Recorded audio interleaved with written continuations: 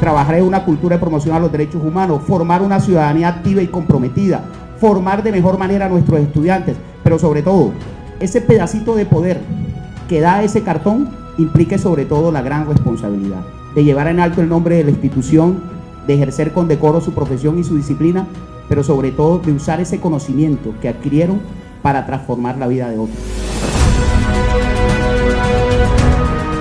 La Universidad del Magdalena profesionalmente para mí lo es todo. Tenemos que educar para formar personas justas.